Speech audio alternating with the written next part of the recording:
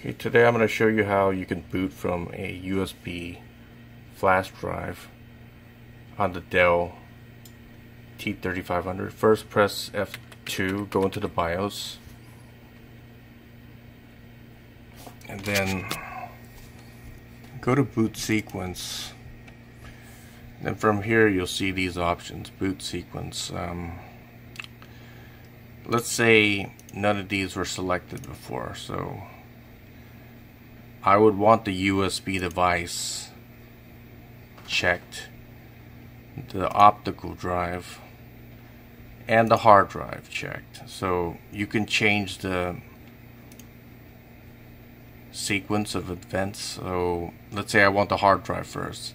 I just select on the hard drive, press up, and now the hard drive is the first device to boot. But that's not what I want, so in this case I want the USB drive to be the first device to be booted. So now that's at the top of the list and I want the optical drive to be the next device to be booted. And after that you just click on apply and then exit.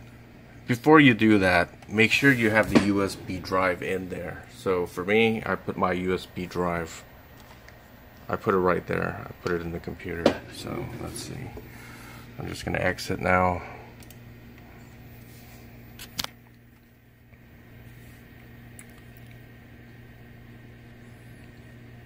Okay.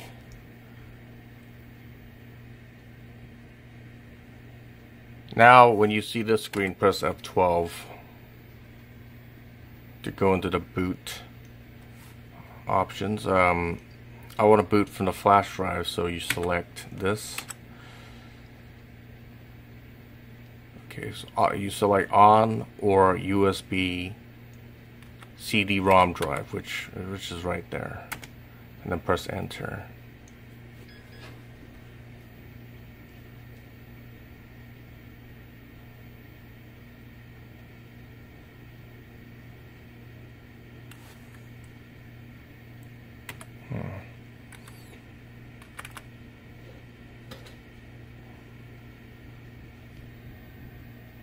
Odd. I'll take the flash drive out and I'll put it back in again. See if that works. Okay. Exit again.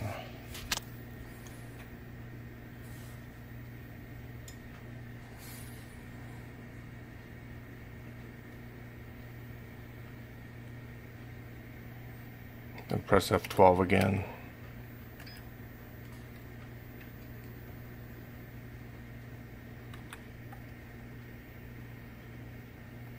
Oh, I selected the wrong one. I wanted USB device. Okay, that's why it didn't show up. So now it's booting into the um, bootable flash drive.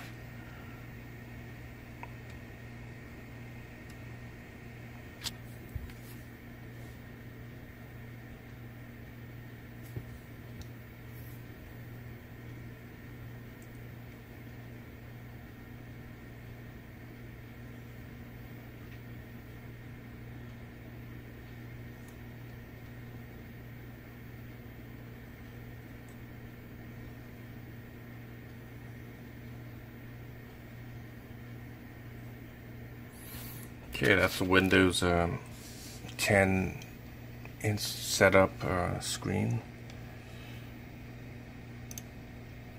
And you could install your Windows 10 operating system or any any other operating system from here, but I'm not going to because I already have it in there, so I'm just going to leave, cancel this. Okay, thanks for watching.